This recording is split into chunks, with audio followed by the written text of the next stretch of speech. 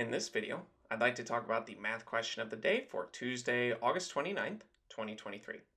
And with this problem, we are given a piecewise function, and we need to determine what the value of g of 7 is. And questions like these are sometimes introduced in Algebra 1, though you might see this in Algebra 2, or most likely you might see this in a pre-calculus class.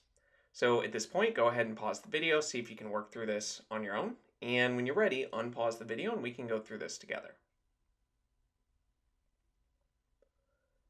Now, assuming that you have attempted the problem, let's start working through it.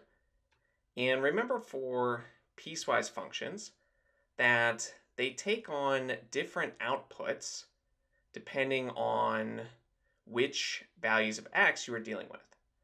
And if you're familiar with interval notation, that's what we have here. This output deals with x values between negative infinity and negative 7, and the parentheses means that we're not including negative 7 at that endpoint. Whereas when x is between negative 7 and 2, including those endpoints, then we use this linear function. And when x is between 2 and infinity, not including 2 at the endpoint, we have this factored quadratic here. But if interval notation is a little bit confusing, you can also write these as inequalities. We can say that x has to be bigger than negative infinity, but less than negative 7 for this output, this quadratic function. And for this linear function, x has to be bigger than or equal to negative 7 or less than or equal to 2.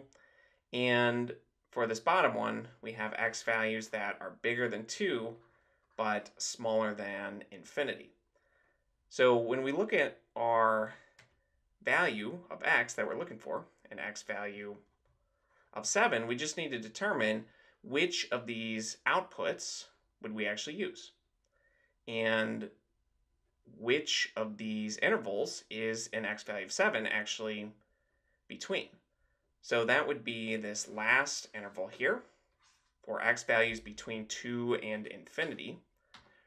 The way to use this interval notation is that the first number, that's the lowest value in that interval, and the second number, that's the highest value in that interval. And that works the same for these as well. So 7 is between 2 and infinity. The lowest value is 2, and 7 is bigger than that. But the highest value is infinite, and 7 is, of course, smaller than that. So it's in this interval, and that just means we want to use this output here. So we have g of 7. We will plug an x value of 7 into our function here, and we're just using this factored quadratic here.